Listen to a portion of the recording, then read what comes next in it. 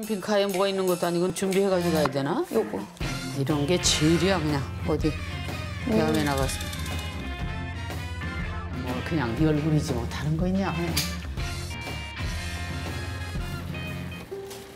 사실 아침에 어떤 때 할 때가 있어 어머. 오, 저 무슨 일 있었나 본데. 강아지 촬영 가야지.